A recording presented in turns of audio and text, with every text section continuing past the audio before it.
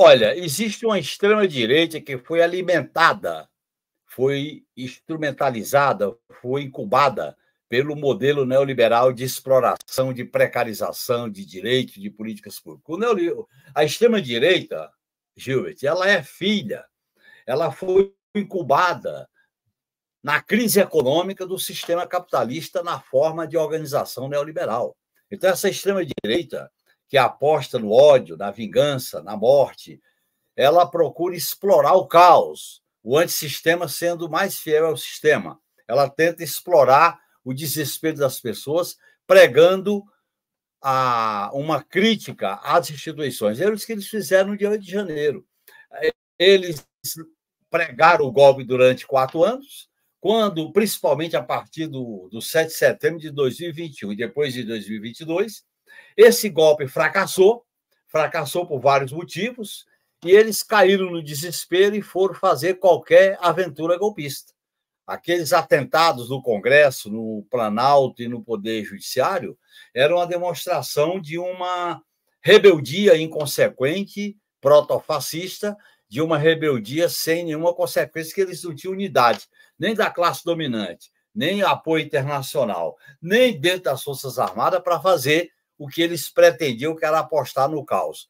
E acontece que a, a, a lembrança do 1 de janeiro, é aí que eu me baseio, foi gritar sem anistia.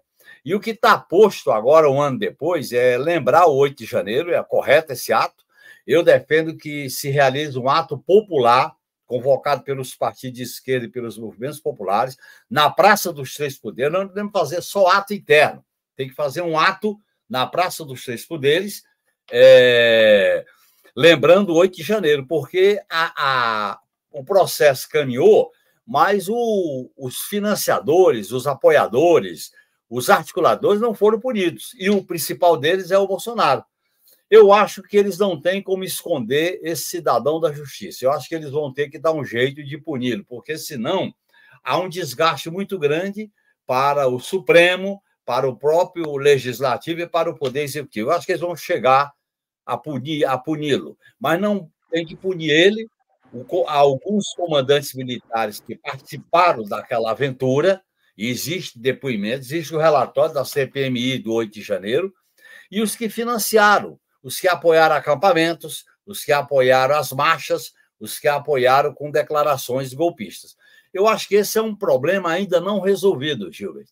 Está tá aberto a solução desse problema. E se a gente for pela ideia da conciliação, de passar a mão na cabeça, é o caminho de alimentar, mais uma vez, a volta da extrema-direita, como aconteceu na transição de 79 a 85 e poderá acontecer novamente. Eu acho que essa é uma das tarefas do governo Lula, além de fazer uma reforma nas instituições herdadas do período do inominável e do golpe, e fazer mudanças na ordem econômica, que nós continuamos dependendo de uma maioria de direita no Congresso Nacional, e eles tentam governar sem o ônus de ser governo. Esse é um problema que está posto.